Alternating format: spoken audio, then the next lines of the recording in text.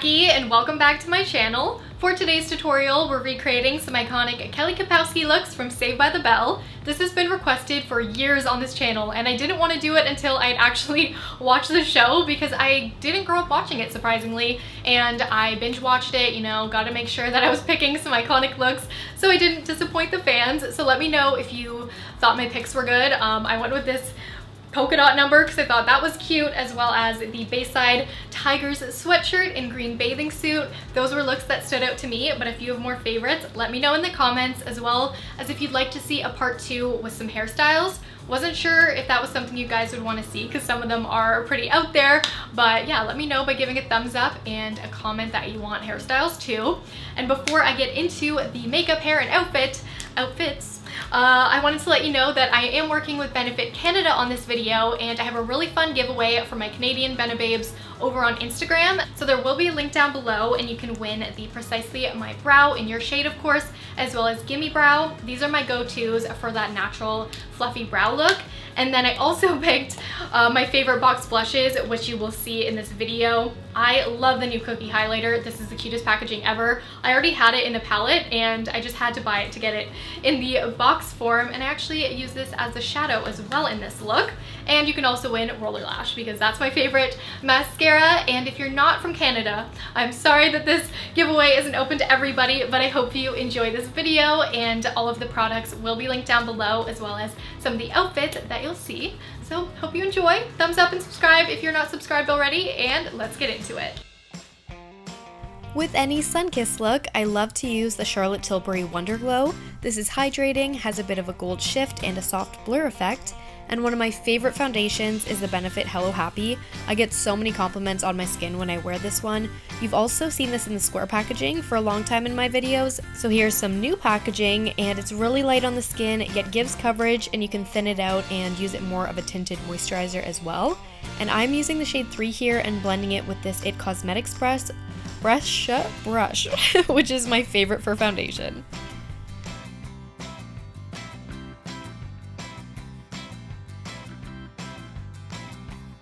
Next, I went with Drugstore for concealer.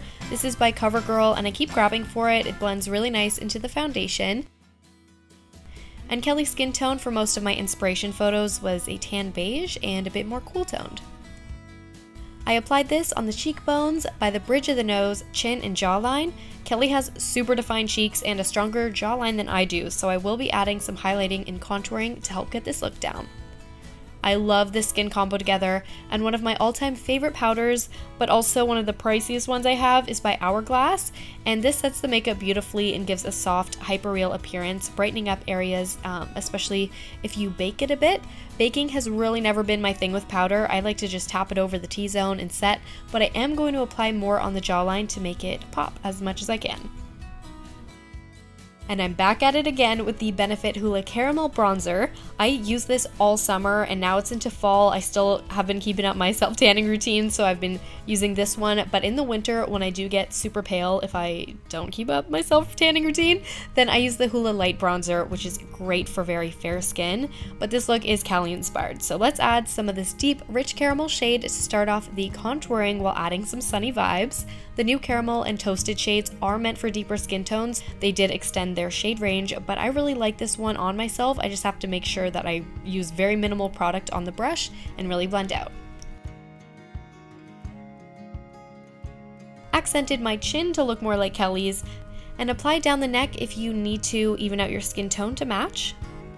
Time to contour the nose. I love this step, and this was the photo that I was going off of because it had harsh lighting or maybe effects on it, and I could really see the shape of her nose well, and I just went off that. Her nose is upturned with kind of a triangle-like tip, and the nose bridge is more wide than mine and more structured around the brows and the eye sockets, so I'm using the Kevyn Aucoin sculpting powder slowly, just adding in the shape as much as I can before it looks too artificial. I will soften this up as I go, but I did leave it here so you can really see the shadows I put in more easily. And to fade from the intense bronzer, I went with the Dallas Boxed Blush from Benefit. This was my first Benefit product that I saw at one of my friend's house in middle school actually, so it's just a nostalgic product for me and I love the smell of each of the boxed powder blushes.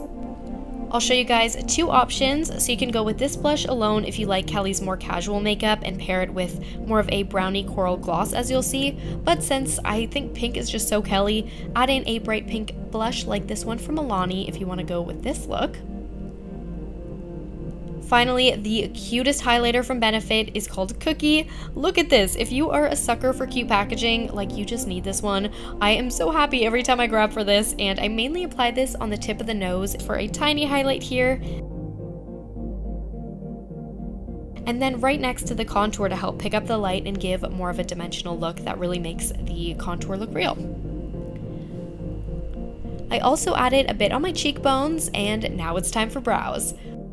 Brush up your natural brows using the spoolie, and I'm using the Precisely My Brow in shade 3.5, which is a neutral medium brown. I love this. It has been my go-to all year because I grew out my brows completely, so they are very full and have a lot of volume to them, but they still do have some sparse areas, especially in the tail end, and some areas could use more shaping like at the arch. So I love this fine tip, and I'm using feathery strokes to create a brow shape similar to Kelly.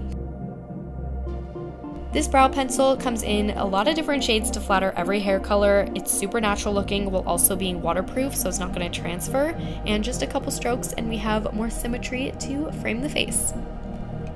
To keep the look natural but add a bit more warmth through my brow hairs which are a little more gray than my actual hair color, I'm adding in Gimme Brow in shade 3.5 which is a warm auburn brown in this product and I love this combo together.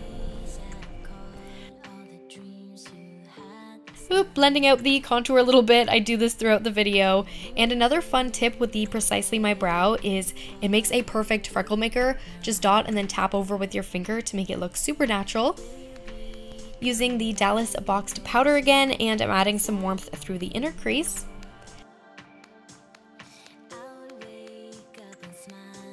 And often Kelly's makeup was more subtle and you could just add some mascara here or start to deepen it up for this eye look that is a more bolder Kelly eye. For this look, I am starting to create a sharper V shape. And then I'm blending that harsher line into the crease.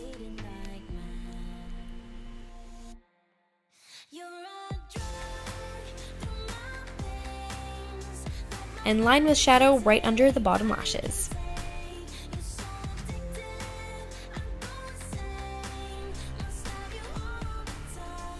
For a pop to the lid, I'm using the Cookie Highlighter from Benefit again, and this has a golden pearl shade to it, and you can use this right on the lid and inner corner, and it's great for, you know, a face highlight or also a shadow. I didn't try it wet, but I'm sure you could get a really bold um, highlight with a damp brush as well. And now that we've got the base look down, deepen up the outer corner in that bolder shape if you want to, you know, keep adding the drama.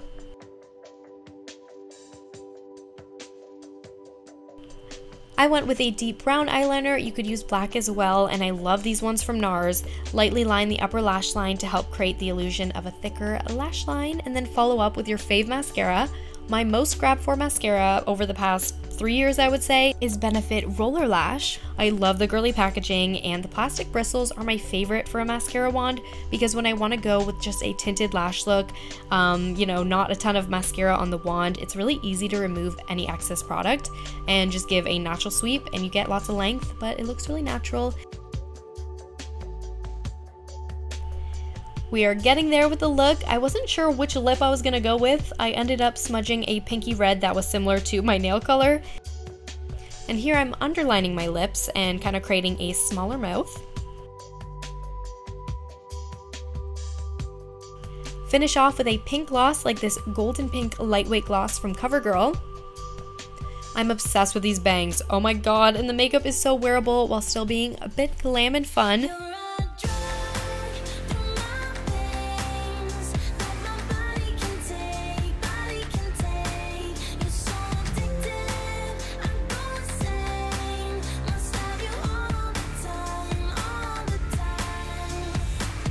Obsessed with these bangs, oh my god, and the makeup is so wearable while still being a bit glam and fun. And I'm gonna show you two quick hairstyles. The first one is more casual and quick, so put on your cozy Bayside Tiger sweater and part your hair to the side. I actually did the wrong side, but I like my hair parted this way. And I got these bangs for like $13 off Amazon. I'll have them listed and they're a bit too dark for my hair and they don't have enough natural highlights, so to make them look more real, I'm spraying in the L'Oreal Colorista in gold throughout and it makes a huge difference. To clip in, lift a section a couple inches from your hairline and clip underneath that section to blend the bangs in. Add a bit of tease and there's the casual Kelly look.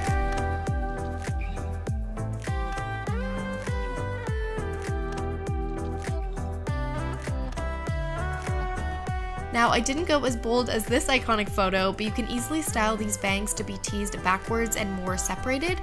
Fake hair is a lot easier to defy gravity than using your own, so it's really great for this.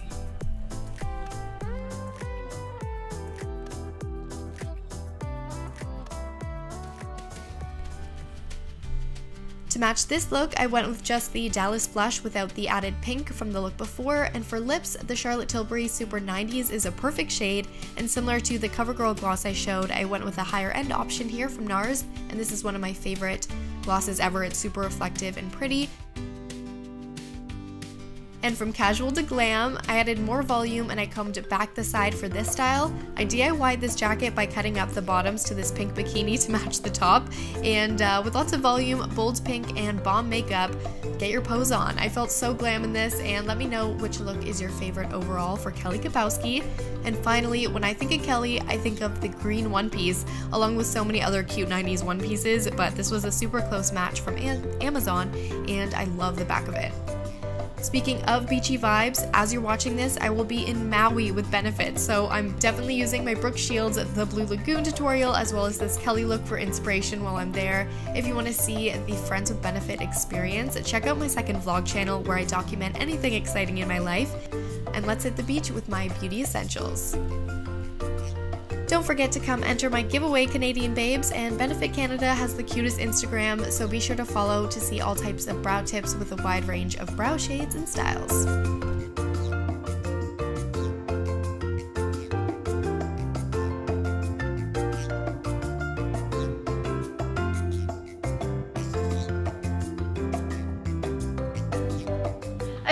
Enjoyed these Kelly Kapowski looks, and if you did, make sure you give it a thumbs up and subscribe for more pop culture videos every week. I've been doing a ton on my channel of like character recreations pretty much like weekly and it's been very taxing. Um, they have a lot of like detail and while I love doing them, let me know if you want me to bring back in some of my own looks that maybe are a little bit more practical. Like I remember I did a tutorial a couple years ago that was like a coffee shop date look and I wanted to redo something like that, um, bring in some of my own makeup routines. So let me know what you'd like to see from me in the coming year. Of course, I will keep up with the pop culture videos because they are my favorite to do. But yeah, I thought I'd mix it up a bit. Also, I love it when you guys tag me in your photos so I can feature you in my videos. So here are a couple of my favorite pics. If you are Canadian, don't forget to head over to Instagram to enter the giveaway for all these awesome products and um, yeah, I think that's it for me. So thanks so much for watching and I'll see you in my next video. Also, oh, I have merch. Don't forget to shop my merch. This is my phone case that I made. I love it. And there's some other stuff uh, that you can shop right underneath the description box if you're interested. And anyways, see you in my next video.